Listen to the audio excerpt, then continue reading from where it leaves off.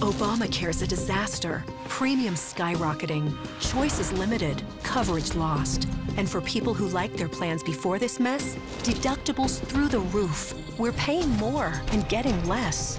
Obamacare's a failed mess, created by Senator Sherrod Brown's vote. It's time to repeal and replace it, and end Obamacare's $1 trillion in tax hikes. Tell Senator Sherrod Brown he was wrong to vote for Obamacare. It's time to repeal this mess.